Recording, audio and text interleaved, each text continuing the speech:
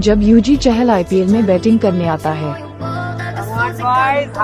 आ गया है। तीन सौ रन बनने वाले वो आउट नहीं करना है उसको छह बॉल खेलना है बस। और अगर आउट हो गया तो फिर नहीं करना।